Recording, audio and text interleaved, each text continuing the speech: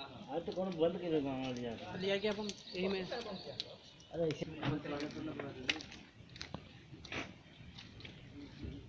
ये चार साल से हुआ था। अब रोक रोक के यही जौन नावत वहाँ लोग देख के चल जाते वहाँ एक बाद फिर यहाँ काम बंद ही रहता है। हमन का कर सकत भाई यहाँ?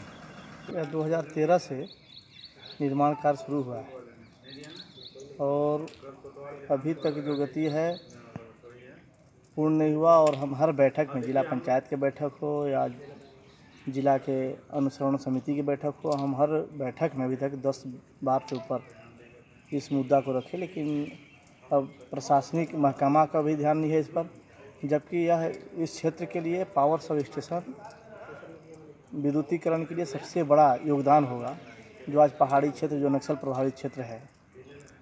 जिसको आज पूरा मैंने पावर नहीं मिल पा रहा है, जबकि दुबेपुर से पावर सब स्टेशन से रामपुर को बिजली देने की बात की जा रही है। अब दुबेपुर से घूमते घूमते कम से कम 70-80 किलोमीटर से रामपुर तक बिजली आने की बात हो जा रही है और इस गाँव में जो निर्माण हो रहा है, अब तीन, साढ़े तीन करोड़ की लागत से पावर सब स्टेशन यहाँ बन रहा है। जिसमें से दो श्री गोपी कृष्णा बना रही है।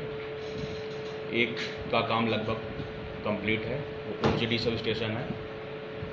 वो एक हफ़्ते में हमें हैंड हो जाएगा। रामपुर का सब स्टेशन लगभग 90 परसेंट कंप्लीट है। उसका पूरा सब स्टेशन का सिविल वर्क कंप्लीट हो चुका है। रामपुर सब स्टेशन को हम नई बाज़ार से टेप करेंगे। नई बाज़ार सब स्टेशन अभी बना नहीं है। तीन से चार महीने में नई बाज़ार सब स्टेशन बन जाएगा। उसके बाद हम रामपुर को उससे टेप कर देंगे। नई बाज़ार के कारण उसमें डिले है। नई बाज़ार की ज़मीन फाइनल हो चुकी है और उसका काम शुरू हो गया है। तीन से चार महीने में नई बाज़ार बन जाएगा। उसके बाद ये उसको जोड़ दिया जाएगा नई बाज़ार से रामपुर